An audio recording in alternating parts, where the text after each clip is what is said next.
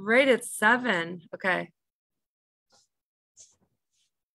Hi, everyone. Welcome to Highlights from DDW, Patient Centered Management of Ulcerative Colitis Urgent Patient Need. I'm Jennifer Bomberger, the Director of Strategic Partnerships for Medscape Education, and it's my pleasure to be your moderator for tonight's program. Medscape is thrilled to be partnering with the Crohn's and Colitis Foundation to share highlights from our co-developed program, Patient-Centered Management of Ulcerative Colitis. This program was presented to the gastroenterologists from around the world that attended DDW in May.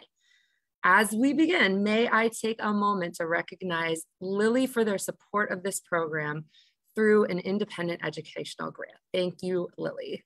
Our goal tonight is to provide highlights and insights from the program and address critical questions on urgency and IBD in the patient population specifically. That's why we're talking to you. Um, I want to welcome tonight's presenters. Um, first off, we have Dr. Russ Cohen.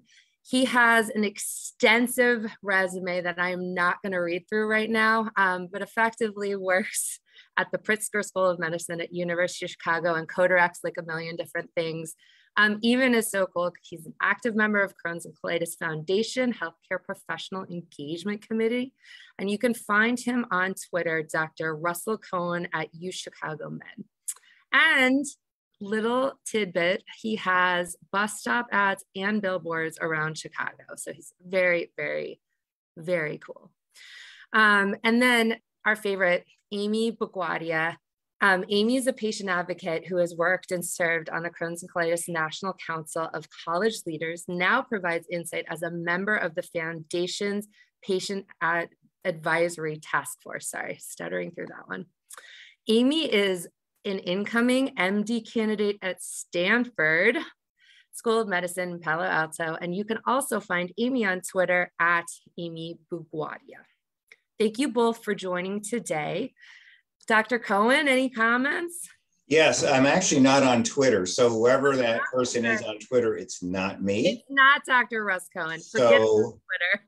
they may send wonderful things to that person. I I hope that uh, he has a lovely time with all the Twitter uh, tweets that he has no idea what they're about. Um, but luckily, um, uh, I am getting the opportunity to work here with Amy, who's fantastic, and Jen and the whole group.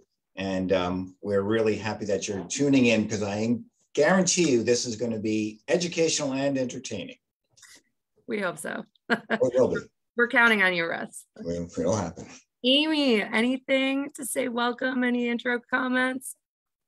Yeah, I'm just incredibly happy to be here. I know that urgency in, in colitis is um, sometimes a very uncomfortable topic, but it must be talked about. Um, I think it's so important when it comes to kind of the whole patient um, experience, so whether you're a patient or a caregiver or a clinician. I'm just really excited that you're here and we're excited to jump right into it.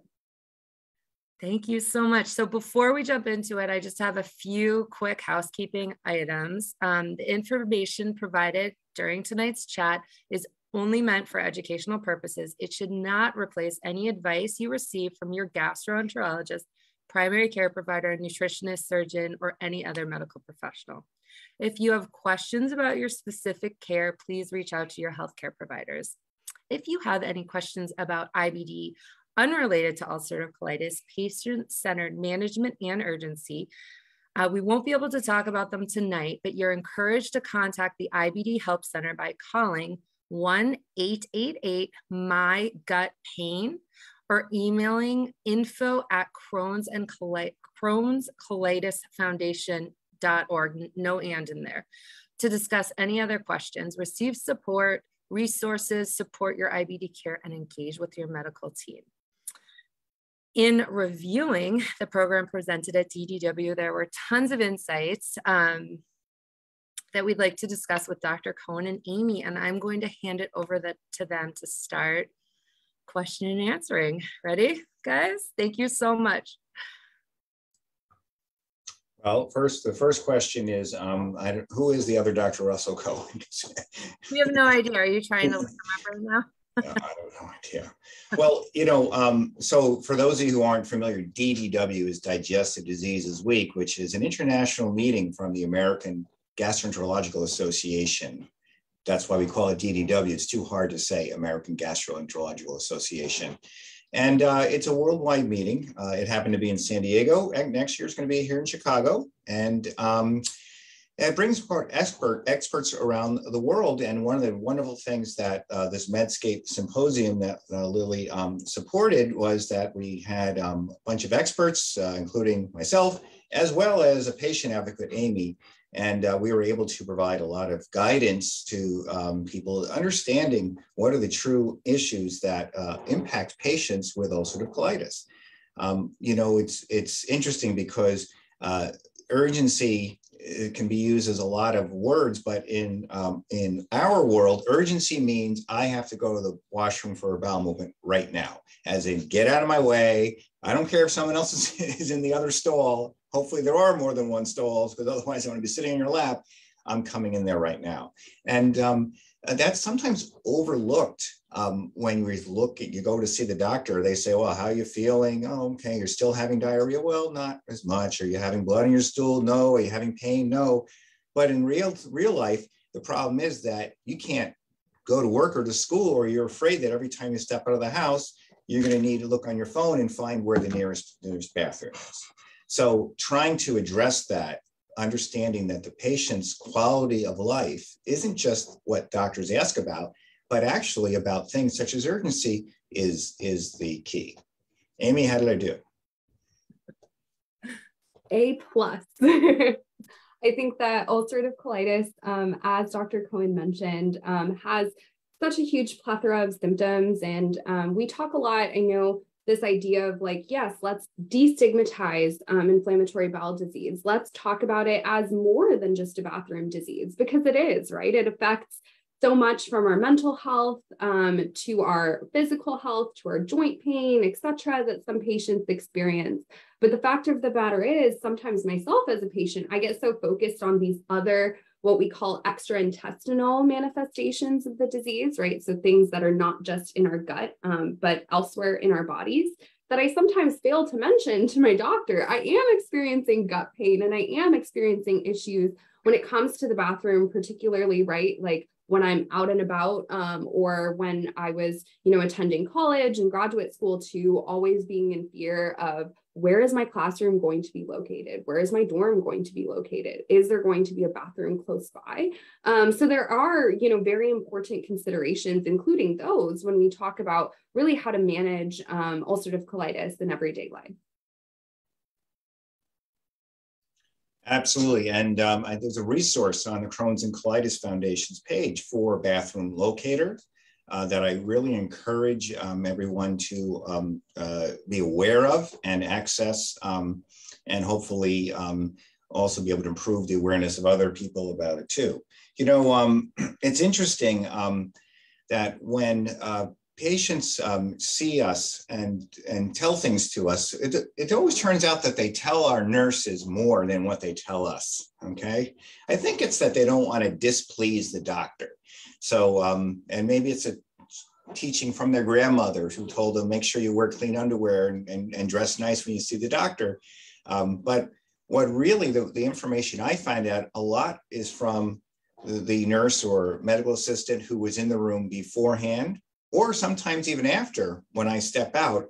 And then they come up to me and they say, the patient burst into tears after you left. And, and, and I say, oh, usually people burst into tears when I walk into the room. But nevertheless, because it turns out that they were this close to saying to me, but they, they were intimidated or afraid or whatever it may be. So, so Amy, what would you recommend to patients um, when they are in, going into a medical system, particularly if they're feeling a little intimidated or embarrassed to talk about their real issues? Absolutely. That's such a great question. I would first say your emotions are valid. Um, I think a lot of the times living with a with a chronic disease such as ulcerative colitis can be scary. Um, it can be really overwhelming. Um, and I think in our society, you know, as as much progress as we've made to kind of destigmatize the disease, there is, you know, a lot of hesitancy or shame that we still might be experiencing, and that's okay. Um, but then the question is, who do we have in our support system in order to really help us overcome um, those feelings? And i think it's it's quite common to just kind of sometimes look at a doctor and be like oh well they're just asking specifically like oh how are your bowel movements doing? And you know oh they don't care about me. And that's simply not true. Um, so i think just thinking about your clinical care team viewing them you know the nurses the the practitioners and also your gastroenterologist as someone who's not going to judge you. They went to school for so many years just to learn how to support people just like you. And so I think recognizing that that they're a key part of your clinical care team and that they care about you as a person, not just you as someone who has this disease um, I think can be an important mindset shift because then you start thinking and, and sharing all of those activities of daily living and how you're doing as a whole person because IBD can affect so much. But and and you know there is help available but only if you know how to articulate and ask for it. I think that's really the key. No one else knows your story and your disease better than you. Um, but then to figure out how to effectively communicate that to the people who can help you is a huge skill, something that I'm definitely practicing as well. Um, so really figuring out like who is that trusted person in your clinical care team? Um, how can you seek out a doctor and a nurse that you can trust is really important. And then working on building that long-term relationship with them because it's not like, you know, you just see them once and it's done. This is a chronic disease that you will be managing. So it's important to kind of share all of those things, the good and the bad, even if you feel uncomfortable at first, recognizing that it's an important step is sharing so that we can then get you the care that you need. Absolutely. I think that's a fantastic summary. And, you know, be aware that you may actually meet various members of the medical team. So, for example, I'm at the University of Chicago. So, in addition to the physicians, we have very experienced advanced practice nurses or nurse practitioners. Um, uh, some other sites have physician assistants, PAs, and many of them uh, over time uh, get very well trained and are particularly approachable um, by the patients about some, some of these issues too. We also do extensive training of our own nurses. Um, we have dietitians uh, and many questions are what can I eat? How can I eat? What could I do? And then even a GI psychologist um, to help coping with, you know, your entire Zen um, and how to maybe help control some of the uncertainties that you may have um, perhaps related to your, your GI disease. I mean, Amy, do you find that these are helpful resources to you? Absolutely. I, I find myself sometimes thinking about this idea of I only have a 20 minute appointment, but I have six months of my life to, you know, summarize and, and try to pare down.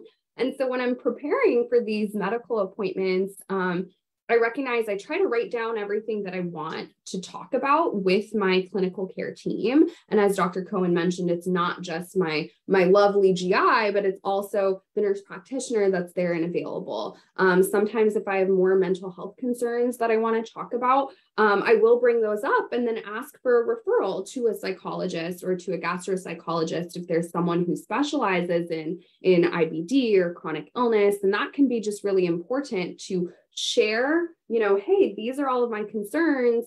Um, I want to talk about some of them with you, but I was also wondering if I could get some more guidance on, let's say, diet. So that way you're you you will get the referral that you need, even if you're not. I know that I have the privilege of being treated at a large university um, academic medical center that has all of those wonderful resources that Dr. Cohen mentioned. Um, but maybe in your area, you don't have access right away in that clinic to those specialists. That's okay too. Bringing this up with your doctor and then figuring out how to get referred to those places can be helpful. And I know the Crohn's and Colitis Foundation's website also has a way that you can search up um, for specifically IBD practitioners that can help you. Absolutely. You know, um, one of the questions I always ask my patients with Crohn's or ulcerative colitis when they're coming back after being treated, hopefully successfully, uh, is I say, Oh, how are you? Nice to meet you, this and that too. Nice to see you again. And then we got to start talking about their GI condition. I say, So, um, are you better? They say, Oh, yeah, I'm better. You're, you're a great doctor. And I'm like, Oh, please. And then I say, Are you perfect? And everyone stops. They're like, What do you mean perfect? I'm like, Well, are you perfect? So the people who say, Well, how can I be perfect? I have ulcerative colitis, or how can I be perfect? I have Crohn's disease. No, many times you can be perfect. There actually are um, approaches to treat patients with Crohn's and colitis that many, not all, but many patients can go back to quote unquote normal life. Um, and uh, one of the things that's important is you shouldn't expect not to be perfect. Now, being quite frank with you, we can't get everybody there, but um, if you have the expectation that I want to get back to perfection or where I was, or as close as possible, that actually helps us too. So, for example, if I were to say to a patient, "Oh, oh well, you were, um, you know, how you doing as your diarrhea?" They're like, "It's great," because they were going 15 times a day, and now they're only going eight times a day. So I write in my notes, "Oh, patient's doing great, but they're still going to the bathroom eight times a day." Uh, but heck, it's heck, it's a lot better than 15, and maybe they're not having pain anymore, and this and that too. Um, and, and, what I'm getting to is that, unlike many many years ago, and, and unfortunately I was practicing GI then, we really only had steroids and some other um, uh, mild medicines to work with before the biologics and novel small molecules started, and we had to really balance well how much steroids could we give you? Because it had so many side effects. And maybe we'll be willing to accept partially better as as good enough. But that's that's 20 years ago 25 years ago. Nowadays we have expanded number of therapies to treat patients with ulcerative colitis or crohn's disease that are very very safe and effective. And don't be in the mindset that oh i got so much better i'm here. We really want to be able to push you uh, to the point where things are normal or as normal as they could possibly be. So, Amy, um, when you've had problems with your bowels, I always say to the patients, Would you go out on a boat in Lake Michigan? And they say, What? Are you crazy? How can I go on a boat in Lake Michigan? And then when I get them to the point of being perfect, I said, Will you go on a boat at Lake Michigan? They say, I will go on a boat in Lake Michigan. And then I say, can you invite me to go along? Because I don't happen to know how to boat. As you know, they say that the second happiest day of your life is the day you buy your boat. But nevertheless, um, so I mean, what I mean, do you think what I was saying is that mumbo jumbo, or is there, there really reality to it? I I love the way you phrase that. This idea of of picking, like not settling, almost right, because I think when we've been sick for so long, I a thousand percent have fallen into this before, where I have been in an awful flare and you know i get i get better ish from where i was um still not you know perfect still not you know up there ready to go on a boat but you know i'm getting better. And so then when i go and talk to my gi oftentimes i do fall into that trap of saying like oh yeah i'm good. Like i you know because i feel like i have to be grateful for for that like little jump and improvement. But i think what i've realized especially as you were talking i think what you're getting at is this idea of it's good and important to be grateful and share those successes and improvements but that doesn't mean we have to settle and just end there like that endpoint can continue to grow and increase um, and so recognize and setting those goals and then sharing them with your provider is key right so saying and picking that one thing whether it's you know hey i'm going off to college next year and i will be living let's say in a dorm with a communal restroom and i want to live in my dorm and not be in fear of having an accident. Let's say that's your goal. And you communicate that effectively to your practitioner, right, to your GI. And that's when they can really start measuring and fitting in this idea of your lifestyle and your symptomatic goals and, and how to get you there. Um, so I think instead of, you know, it is important, of course, um, to celebrate those victories when a treatment is working, um, not giving up hope. I know so many of these therapies, they do take a while and I get impatient sometimes too, but recognizing, hey, I'm better than I was yesterday, but tomorrow I can still be even better. So, kind of a good balance between that goal setting, gratefulness, and, and hope. Well, that's terrific. And, you know, one of the things that you brought up is actually translated into now how we do our clinical trials and approach to clinical care. And that is we take, first of all, our traditional things, colonoscopy or CAT scan or whatever it may be. Um, add to that now, well, maybe when we do the scan or the colonoscopy, whether things are really normal from what we can see.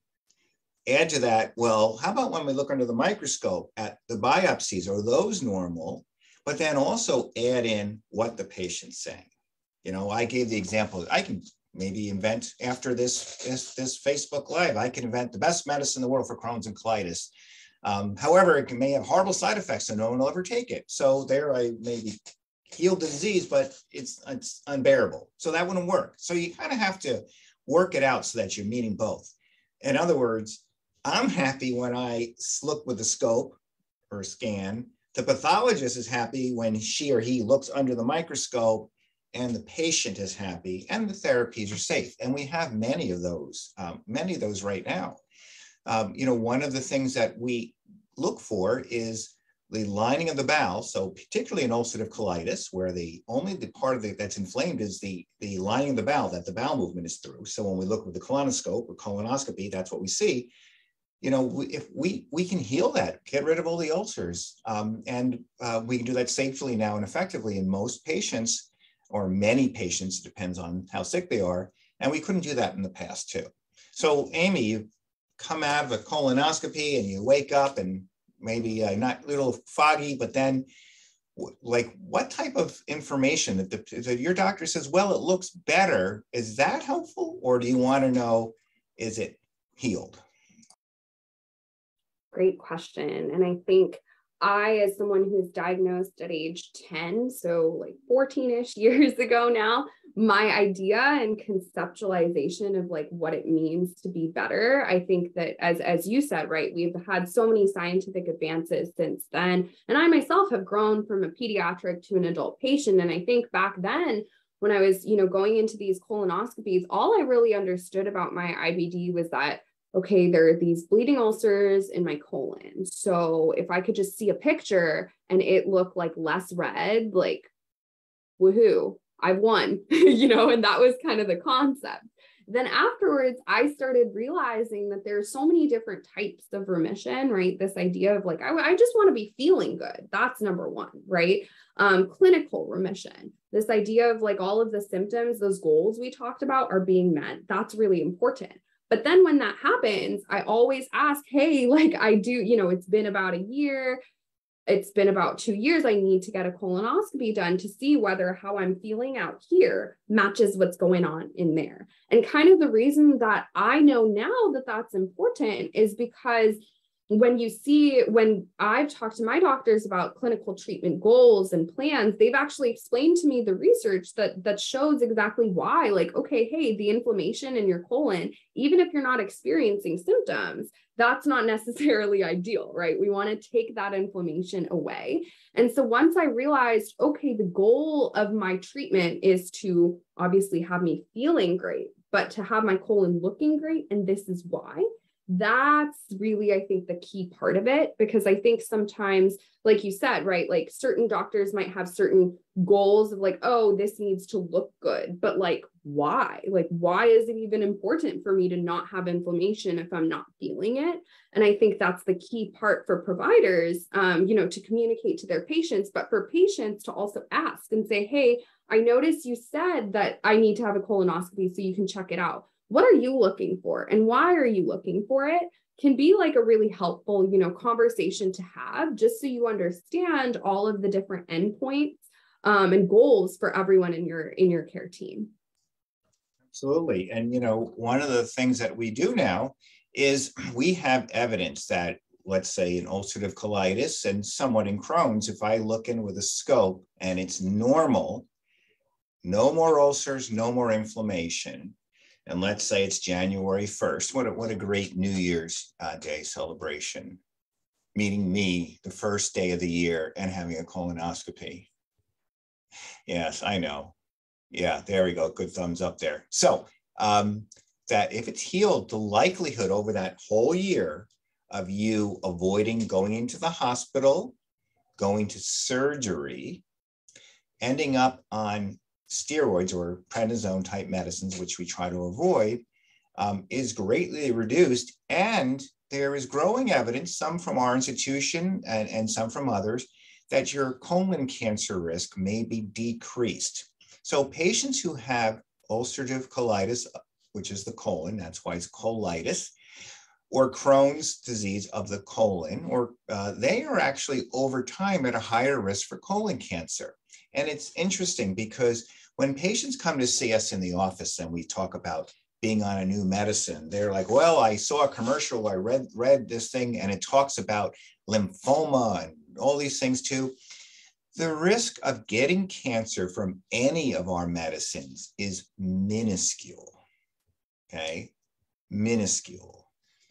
Uh, the risk of getting of, of ending up having colon cancer with longstanding ulcerative colitis or Crohn's of the colon is not minuscule.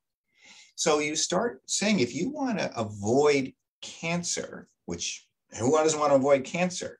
Instead of being afraid of what you see on TV or read, let's look at reality. Your mo- most common cancer risk is, ulcer- is, is colon cancer. So it makes much more sense to try to decrease that risk rather than worry about very, very rare cancers, usually not even related to the medicines, it's just that they're mentioned in the TV commercials because they have to. And, and run your life being worried about something you're never going to get while you could have prevented something that you might get. And you know, it's a whole different mindset. You really want the lining of your bowel to be normal, as far as we know, and that's called mucosal healing. So some of the endpoints in our clinical trials, and uh, is that the lining of the bowel mucosa is normal, particularly in ulcerative colitis. Uh, and that's something that when we look with a scope, and this is, I guess, is my international sign for doing a scope.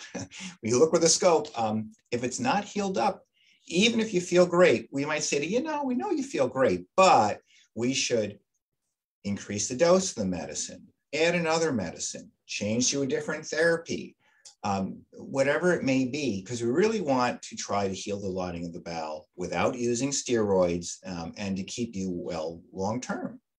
I mean, uh, you know, and, and uh, how, what, how does that feel? You feel great going to your scope, and then the doctor says, well, you know, there's still stuff going on. We want you to change things up. Or Is that nervous for you? Is that concerning?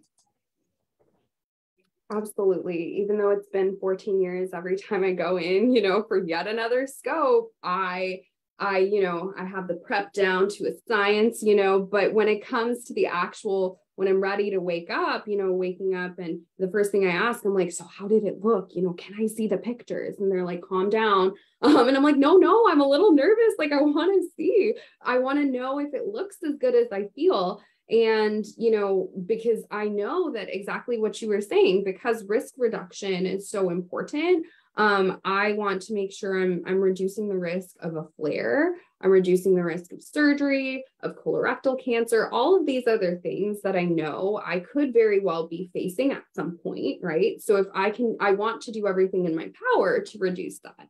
Um, so that's, you know, my number one goal as a patient. That being said, I do recognize I still do get scared or nervous because I'm like, no, I'm so happy on my, you know, oral therapy like why do i need to switch to an injection? Or you know i'm happy with my home injections. Why do i have to now go in for an infusion when i've been you know in a really good routine? But recognizing like that there are slight compromises and adjustments that we have to make um, that can most certainly change up your routine.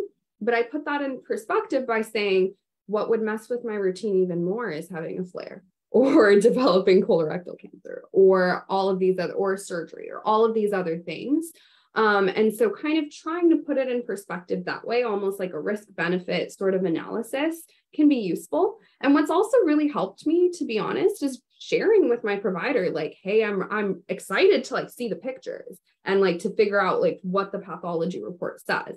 But i'm also a little nervous because i'm happy with where i am in terms of treatment goals um, and so those two things can be true at the same time. Um, and it can be helpful to just practice sharing that with your clinical care team, but also with your support system at home.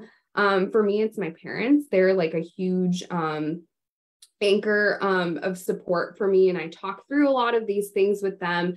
Um, and they help me feel a lot better, you know, when it comes to, hey, after your scope, like, let me give you your favorite food or let me cheer you up a little bit. And they know that that's something that I also need to help treat me as a, as a whole human as we're trying to think about and weigh all of these things.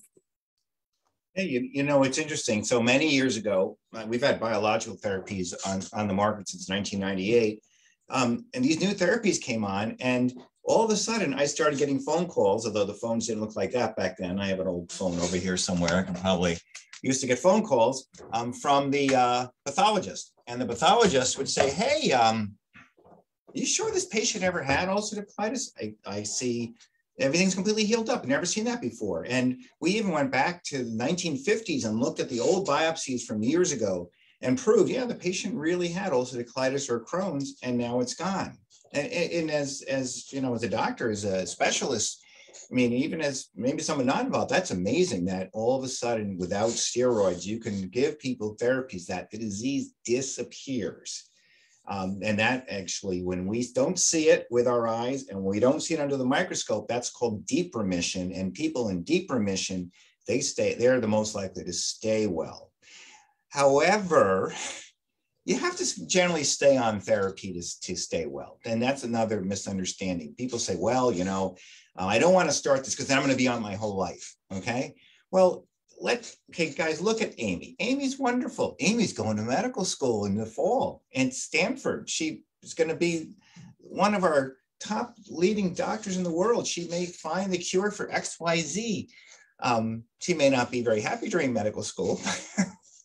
you should do this next six months and see if you're smiling. But nevertheless, the point is, is that new advances are made all the time. There's no way that I or anybody else can be telling you you're going to have to be on therapy the rest of your life. All we can say is, you know, right now, as of now, the best data suggests that if you are in this deep remission or you know remission with your therapies, we you do stay on them because the likelihood of you relapsing off the therapy is high and sometimes it doesn't work again. The only therapies we don't do that with are steroids. If you're on steroids, even budesonide, we try to get you onto a non steroid agent to keep you well. And don't get hung up on, well, I'm going to be on my whole life. You know, if it turns out that you are on it your whole life and you're healthy, isn't that better than being sick your whole life? Um, and you may not be on it your whole life. So don't get stuck on those things. Don't get stuck on commercials that direct to consumer marketing. Point is that there are ways for you to get better. And now we have therapies that even under the microscope, um, we see things healed up or nearly healed up, which is really quite remarkable. So Amy, you're going to um, go to medical school, you're going to go to Stanford, and um, they're going to tell you that um, you know that that you you have to people with Crohn's or colitis they never they never get better they never get get cured. Is that true? What do you think? That will be the point in the lecture. I raise my hand and say no no because we do you're you're absolutely right dr cohen. There are you know i um, have had periods in my life where i've been in what's called deep deep tissue remission and that was so exciting to me. I like cried. I was like this is amazing like you know? And i stayed there for a very long time um, which which gave me kind of the best quality of life um, and when it came time that that was no longer true um, that was okay too because i recognized i was like okay like therapies have gotten me there before. Different meds can get me there now you know? So so recognizing and kind of trusting that process um was useful. And now that I am feeling a lot better, I know I still have to be taking my injections. I have to be taking my regular oral medications and I'm going to continue that because in my mind it's kind of like if it's not broken why fix it you know and and if if I if these therapies have helped me get into my deep tissue remission or or in my case currently it's just clinical remission um, but that's a huge step forward um, and exciting. Um, and so I think also as patients, I recognize it can be scary or frustrating, particularly I think for the young adults out there, for everyone, but young adults who see, you know, oh, none of my friends have to take injections, none of my friends have to take, you know, these daily pills. Um, I get it. Um, but I think thinking about all of the things you can do with your friends because these medications are kind of keeping you um, doing well or whatever you know therapy or course of treatment that you and your your gi have worked together to come up with i think can be really you know important to keep reminding yourself of um, recognizing how many of the amazing possibilities and doors uh, this has opened up for you can really be key i think mental health wise when you're thinking about you know where you started when it comes to those 18 trips to the bathroom or you know the incredible terrifying moment where you realize I need to go and there's no restroom. There's no fear like it. right. And so if I could never have another day in my life where I feel that fear, I, I, would give anything for it. Right. And that's exactly why I feel so specific about staying on these treatment regimens and being really careful um, listening my to my GI, getting those regular colonoscopies um, because I remember where I started and I don't want to go backwards to that. Um, and so taking advantage of the science and the and the improvements in care is something that really like helps me keep my eyes on the path forward. You know, Amy, every time you said the word injections, I wondered, did people shudder in the audience? That sounds serious. IV injections. Is that is is that more serious medicine than pills? What do you think? Yeah, good question. I definitely I remember I just I started my injection therapy about two years ago now. And I remember I was like, whoa, this is a big jump. This, you know, um, because just for me, I was like, I'm used to popping like a handful of pills every single day. And now you're telling me I only need to take one of those pills daily and then take an injection? Huh, weird. you know, and it was, it was scary. It was one of those things. Um, I recently attended um, Camp Oasis as a counselor um, through, you know, the Crohn's and Colitis Foundation. And I was talking actually to a lot of my campers who had to take injections during camp. So I would walk them over to the med shed, and our lovely peds GIs and nurses would help them do their injections. And I was talking to them about it, and I was like, hey, how do you feel about your injections? Like, do you do it yourself? Do you, you know, um, and depending on the age, right? Like, I personally have the 13 to 15 year olds, and they're kind of at that age where, yeah, their parents help them, but some, some of them, you know, are excited to, to try it themselves. And, and it's cool to talk to all these other patients and recognize, yes, injections can be, I recognize, a very scary thing, particularly when you're younger, or, you know, I think sometimes TV doesn't do a great job of like taking away that like needle phobia. It looks very scary um my i guess what's helped me is is just getting into like a regular routine when it comes to on my injection night, like I will turn on my favorite show. I'll have a little band aid ready. I just told my mom yesterday that I should go buy some like fun band aids, um, you know, as a little like sticker reward, like me, a 24 year old woman. I think, you know, that's a fun little reward for myself. Um, at the end of that induction day and kind of getting into that routine, whether you're doing injections or infusions, or even just taking some pills that you're tired of taking, you know, let's say instead of you know water check with your doctor of course but you you know if you like peach juice for example and you want to be drinking peach juice as you're like taking your your pills why not right um as long as you're getting hydrated you're drinking something you want to drink as long as it's approved by your doctor, it's okay. you know, and those types of things I think can be helpful. And then also connecting with people from, you know, the IBD or just generally at large, the chronic illness community can be really useful um, because you'll find so many of us that have the same routine. I actually have a good friend of mine um, who also has IBD, and the two of us like used to FaceTime for the longest time as we were taking our injections like together. So it was like a little buddy, you know, system that we would do. Um, even though our injections weren't on the same day or at the same time, when it was time for mine, I would call her. When it was time for hers, she would call me. And that was just a fun little, then I started associating, oh my goodness, I get to talk to my friend instead of being like, oh no, I get to stab myself with this needle now. so it's just the little things, you know, that can be really useful when we start thinking about things that might be, you know, rightfully scary, but how can we recognize, yes, I need to add this to my routine, but that doesn't mean I can't add all of these fun extra supports when it comes to that. Maybe you should consider peach schnapps instead of peach juice. That could really liven things up. So welcome to my world. So only if um, approved by your doctor. What's that? Only if approved by your doctor. I'm a doctor. I approve. I'll approve it for you.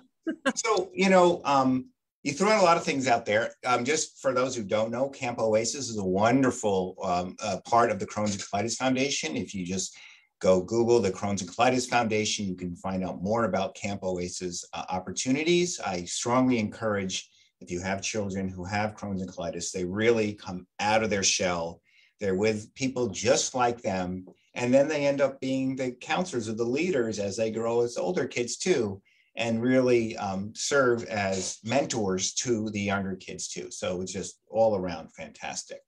So, you know, before we had the um, biologics, the medicines, for the most part, we used were pills. There were lots of pills, as you mentioned, handful of pills, 12 pills a day, 16 pills every day. And then um, what happens is that people do feel that, oh, I'm doing a big step up when I go to an IV drug, that's called infusible, or an injectable.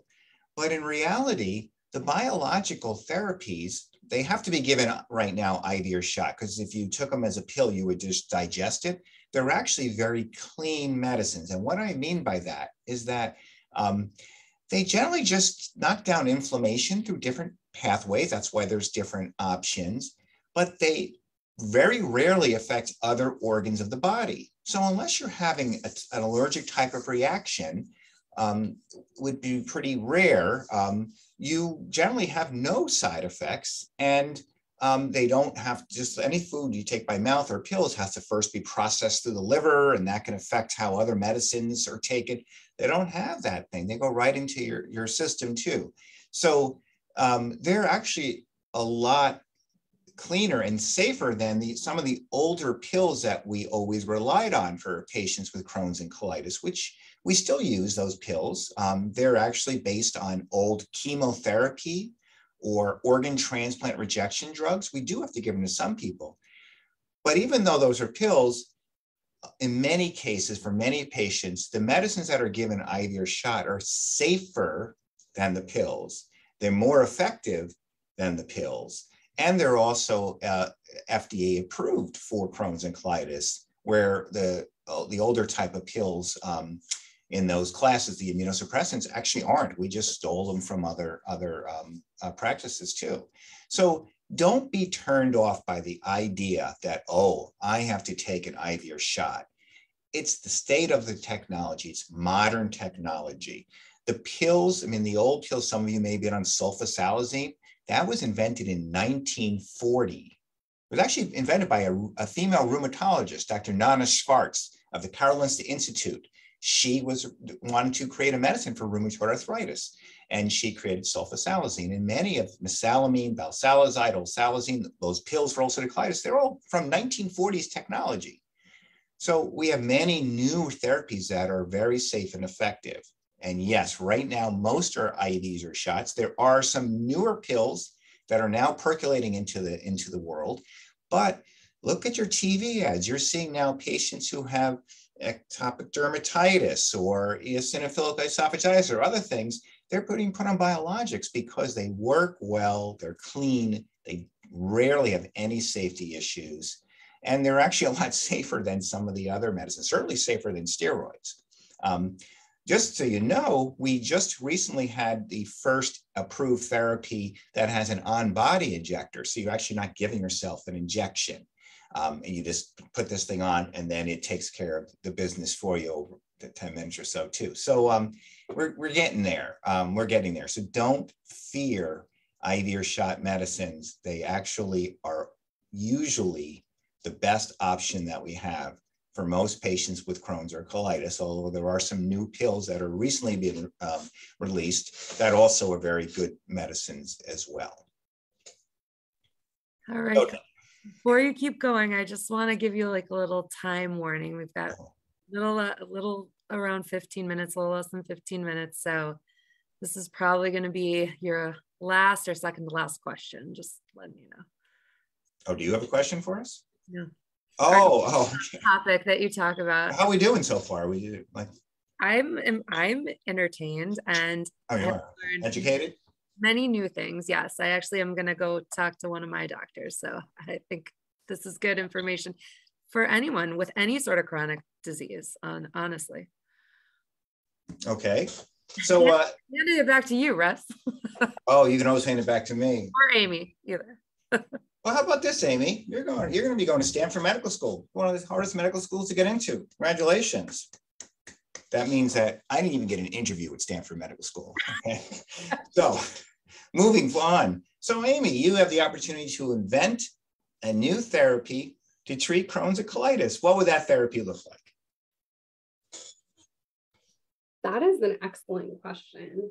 I I think I know we just talked about injections not being, you know, being scary to some folks. Um, but I think about it and honestly, I'm like very happy with my little injection routine that I have going now. And I think like delivery method, obviously, of drugs can so differ depending on, you know, what exactly it's targeting, how it's working, that sort of thing. Um, but one little shot every two weeks um, that doesn't hurt and that can give me, you know, a little, little fun routine um, is not bad. So to be honest, I mean, yes, I definitely like, I think that patients going into the clinical space, going into research is so important because we've been there and we know, right? So can think about the like end user perspective as well. Um, and I think that's true when it comes to developing drugs. It's true when it comes to different, I guess, scales that we use to assess patients when it comes to clinical training and the language that we use um, to talk to providers. Um, and so, yeah, I see definitely great advances. I don't know if this is directly answering your question, but it is. I all to say is I appreciate that you're asking because I think it is kind of a cool opportunity um, that we, as you know, folks who have chronic illnesses can also go into these fields and can make a difference and really be um, be the ones developing these drugs, be the ones um, also then taking said medications to keep us healthy, to keep us, you know, then being able to go off and invent more medications. And then the cycle continues, the world goes around. right. So, one of the, the um, things that I, because uh, I, when I see patients, I have trainees often um, you know, that way they can like, you know, prop me up if I start slumping over or slap me awake, things like that. Um, I said to him, well, what therapy do you think they're going to choose? Because in reality, when we talk to patients, many, not all patients, have an option now. And you say, I said to them, well, do you want to take a pill maybe once a day or twice a day, every day? Or, as you mentioned, a shot every two weeks? Or and three IVs and then an IV every two months, or one IV and a shot every two months, or three IVs and a shot every few months. I mean, there's there's a variety, and believe it or not, um, I almost always predict wrong, um, because you would think people on maybe saying, "Well, I don't really want to take a shot." Well, you know, taking a pill every day or twice a day, you know, every day, it also reminds you every time you take, oh, I'm, uh, I'm taking, I got colitis, I got Crohn's, whatever, as opposed to, hey, I'm, I'm living, you know, fancy and free. And then every couple of months, I just go to the infusion center and I get an idea. I like the fact that I, I have a medical professional doing it because I can't trust myself to give that stuff. Or no, I travel, I do stuff. I just want to tell, you know, the shots are generally painless now. And um, there may even be ones that don't even give yourself a shot because we're coming out now too. I just want to do that. Um, so it's funny because you might be surprised what people tell you. And that's one of the education that you'll get as you're going through medical school and, and, and through your career too. Don't presume what the patient wants. Ask them what they want. Do you think that's a good idea? I think it's an excellent idea. Um, and just to reiterate, too, definitely, I think I am literally just one of millions of patients, right? And so some of you might be watching and you're like, what is she saying? Like these injections, I could, you know, could never be me. And that's okay. I respect your feelings are valid, your your life experiences as a patient are, are just as valid. Um, I think that we are talking about specific experiences that some people might resonate with, some people might not, and that's okay too. Um, but I think that really just reemphasizes the point we were talking about earlier about sharing your specific goals with your clinical care team because they may not know, right? They may be seeing all of these, you know, patients who all happen to prefer a particular therapy. But just as as dr cohen said that's probably not likely right? Everyone you know experiences things differently. Some people like traveling other people maybe they just don't trust themselves to remember to take a pill every day. Like definitely have friends they're in that camp and that's okay you know? Um, let's make sure that they are going to be able to adhere to a treatment plan by giving them something like a regular appointment to get an infusion every two months. Or maybe if you're a college student right like maybe that just won't work with your uh, schedule. Maybe you have to go reach out to disability services at your college to get the you know those resources um, or maybe it's just easier you know in your case you don't live too close to a particular hospital that can give you that. You have to think about travel time and all of that stuff too. Um, and and that's a valid and important part of your disease experience too. So when it comes to talking about goals it's not just yes i want to be in deep tissue remission or yes i want to only have to go to the bathroom one day you know once a day and and and get to walk there instead of run. Like those are all really important goals. But other goals could be i want to be on a type of medication that i can actually fit well into my lifestyle. Or i want to make sure you know to be honest i keep forgetting to take this pill. I, I you know i want to be better about it. How can i do that? Um and and those are the types of things i think that are also just as valid as all of those other more clinical, I would say, um, goals that you might have um, in your ulcerative colitis journey. Yeah, I always think it's interesting when you see commercials for memory pills. I'm like, well, how do you remember to take the pill if you need a memory pill? But nevertheless, so one of the things I learned from my mentor 30 years ago was when he when when he brought me into the room to see patients, the first thing he said would say to them, and he still does, is, "How can I help you?" It's an interesting question because he doesn't go into the room and say, you have Crohn's, you have ulcerative colitis, blah, blah, blah. He says, how can I help you? And kind of getting back to what you were referring to earlier, and now again too, is people have different priorities. So for example, um, people who are retired, they want to travel, okay?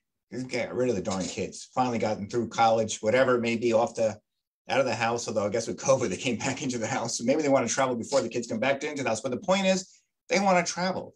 So their priorities are different than the patient who comes in and says, I'm getting married in three months and I'm on steroids and I'm supposed to like fit in the dress and not have a face like this and have all the things like that too.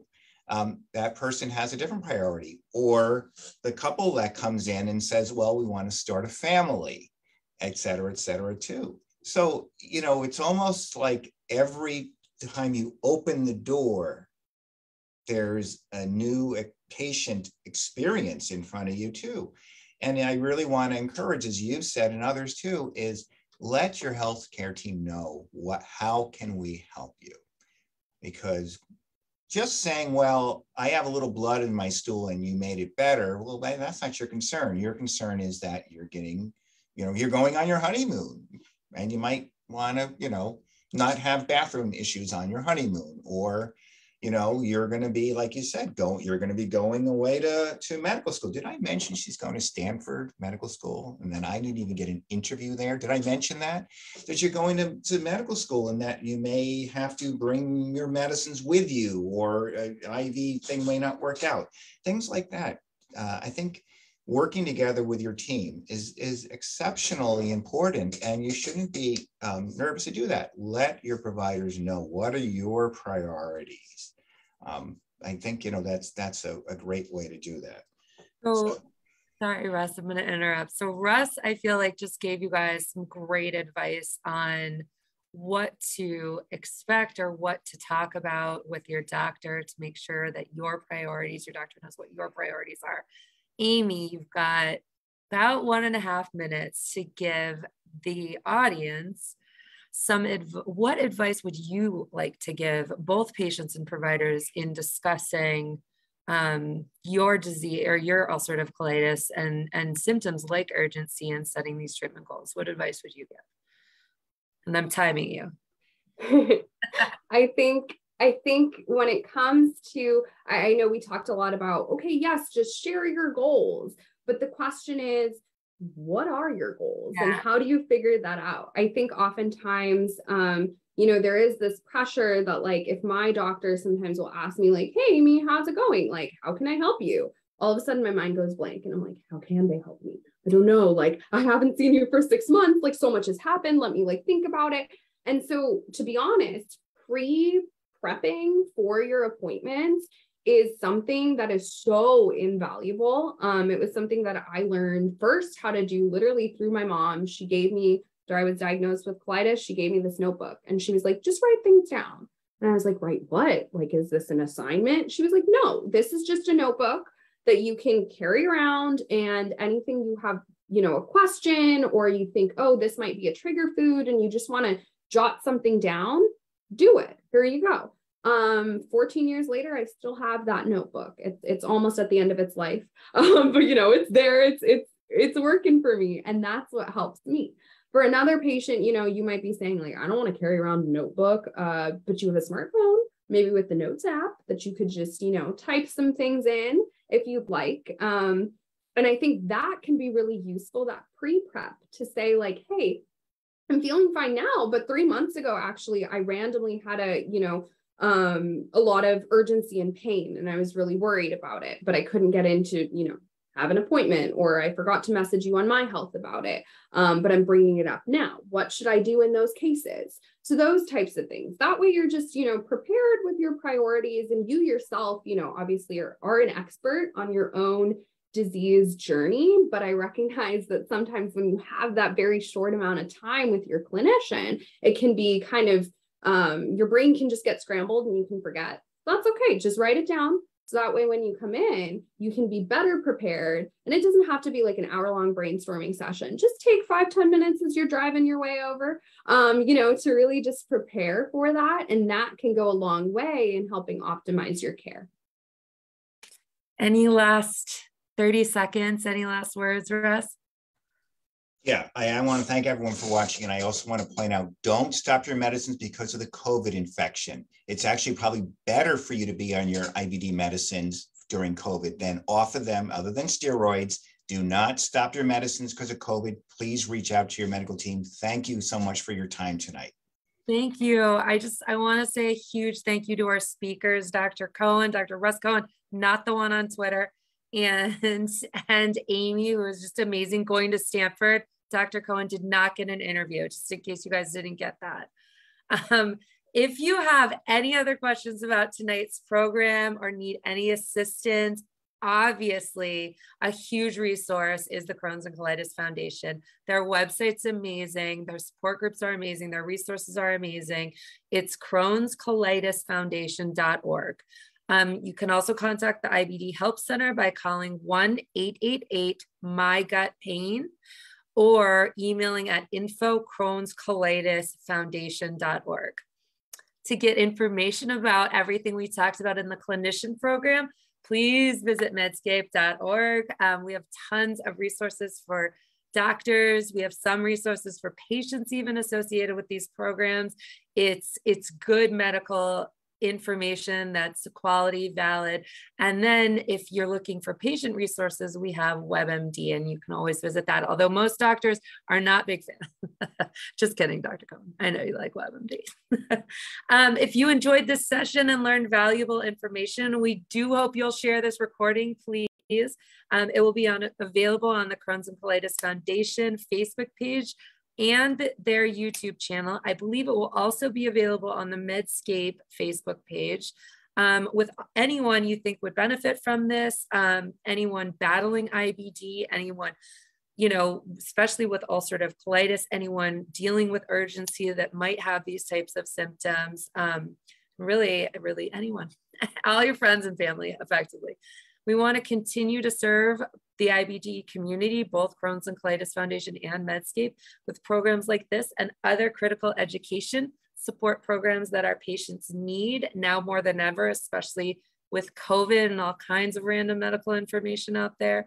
Um, thank you guys so much and take care. Have a great night and thanks for joining us.